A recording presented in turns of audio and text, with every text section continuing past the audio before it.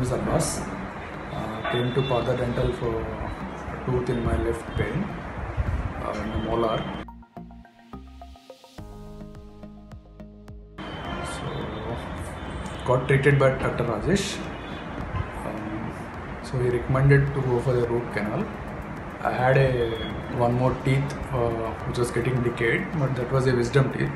So doctor recommended to get it uh, get it out. But I had postponed it for some reason. Um, so Dr. Rajesh gave me the best treatment of root canal. So after three sittings, I'm completely fine. I got a cap also. So very satisfied with this treatment. Thank you, sir.